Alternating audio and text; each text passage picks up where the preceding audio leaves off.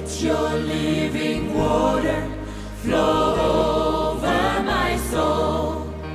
Let your Holy Spirit come and take control of every situation that has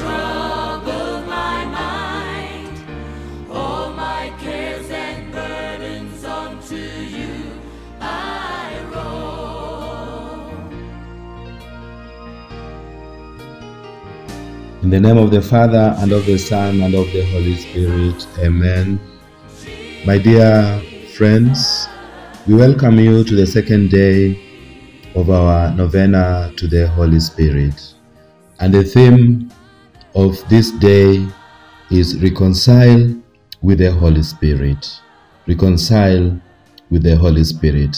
So let us have the first prayer, the opening prayer, which is Breathe in me, Holy Spirit. Breathe in me, O Holy Spirit, that my thoughts may be holy. Move in me, Holy Spirit, that my work may be holy.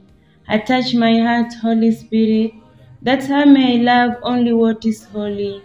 O Holy Spirit, soul of my soul, life of my life, I adore you, I worship you, I bow down before you. Guide me in all my work. Strengthen me from all my weaknesses. Comfort me in all my disappointments and failures. Sanctify me from all my sins. Heal me of all my sicknesses and wounds, spiritual, physical, and emotional. Lead me to the way of my Father. Reveal Jesus, my Savior, to me. Open my eyes and my heart to the Word of God. Teach me to pray. Help me to love as Jesus loves. Strengthen me, Holy Spirit, that I may defend all that is holy. Protect me, Holy Spirit, that I may always be holy. Amen. Uh, thank you very much. So, my dear people of God, let us hear our reading of today, which is from Ephesians chapter 4, verse 29 to 31. St. Paul's letter to the Ephesians chapter 4, verse 29 to 31. Let us get the reading. The Bible says, Do not use harmful words, but only helpful words. The kind the kind that build up and provide what is needed, so that what you say will do good to those who hear you, and do not make God's Holy Spirit sad. For the Spirit is God's mark of worship on you, a guarantee that the day will come when God will set you free. Get rid of all bitterness, passion, and anger. No more shouting or insults. No more hateful feeling of any sort. Instead, be kind and tender hearted to one another. And forgive one another as God has forgiven you through Christ. Amen. The Word of God. Thanks be to God. So, my dear friends, today we are looking at reconciling with the Holy Spirit. We've just heard from that Ephesians chapter 4, verse 29 and especially 30 do not make the Holy Spirit of God sad. Remember that the Holy Spirit is a person. The Holy Spirit is God. The Holy Spirit can be grieved. Before you and I even invite the Holy Spirit and ask Him to reign in your life. So, the first thing that you and I are called to do today is to reconcile with the Holy Spirit. We need this today more than any other time. When the Holy Spirit is at work in you, when He reigns in you, when you obey Him, you'll see His manifestations in your life. So, have you ever grieved the Holy Spirit of God? How do we grieve Him? The Holy Spirit can be grieved, especially when we ignore Him, when we take Him for granted, or when we take Him so casually. Remember, the Holy Spirit is God, just like the Father and the Son. He should be worshipped, He should be adored, He should be listened to, obeyed, and followed.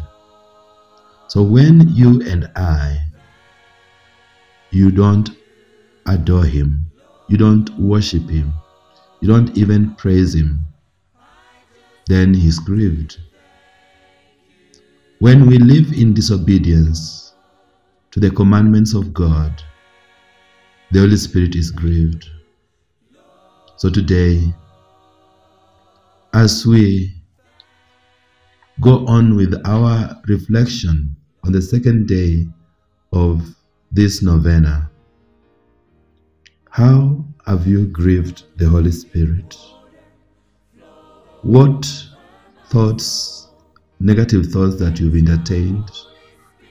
What words are negative words? Maybe the words that have hurt others, maybe abusive words that have come from my mouth and your mouth.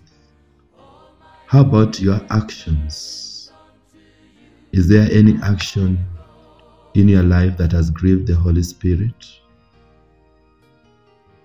Today, reconcile with the Holy Spirit. How do we reconcile with Him? It is very simple. The Holy Spirit is understanding.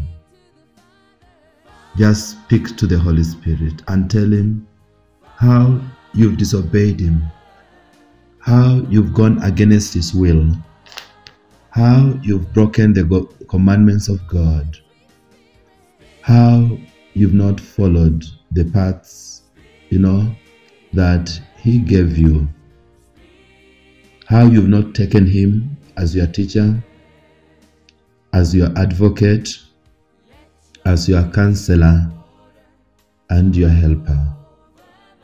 How you've sidelined him. And remove with his help all the evil in your life. In other words, when you repent of any non sin in your life, and when this repentance is a true, is a sincere repentance, the Holy Spirit is reconciled with you so let us reconcile with the Holy Spirit. If we don't reconcile with the Holy Spirit, sin will continue reigning in our lives. Having said this, we want to say the prayer of self offering to the Holy Spirit. Remember, your body belongs to the Holy Spirit. Every part of you belongs to the Holy Spirit. Give the Holy Spirit his right your whole being belongs to Him. So surrender to the Holy Spirit. So we do the prayer of self surrendering. Holy Spirit, God of love, Be, be present to me and accept the offering of myself which I make to you. Receive my hands, feet, eyes, tongue, and all my senses. Receive my memory, my will, my understanding, my desires, my sighs, the longings and the aspirations of my soul. Receive my every hour, my every moment, and all the happenings of my life. Holy Spirit, God of love, knit my soul to you. Let your love possess my whole being, my senses, my power, my affections, and my very life. Rule my labor and my rest, my going and my staying, and move in me as it pleases you. Let your love disquiet or comfort me, humble or exalt me, and burn away all faults. Holy Spirit, God of love, draw me to you. Do with me what you will. Nothing will cause me fear, for your desire to give is greater than mine to receive. Transform me so that I may no longer know myself, nor find myself except in you. Amen. Let us totally belong to the Holy Spirit because your body belongs to Him and your body is His dwelling. Keep on surrendering to Him and be conscious every day that you are owned by the Holy Spirit. Your body is owned by the Holy Spirit. Your hands does not belong to you, they belong to the Holy Spirit. All your senses are supposed to be guided and to be ruled by the Holy Spirit. So let the Holy Spirit be the boss of your life. So after this prayer, kindly do the litany of the Holy Spirit and sing a song to the Holy Spirit. May the Holy Spirit overshadow you as he overshadowed the Blessed Virgin Mary. Amen. Jesus.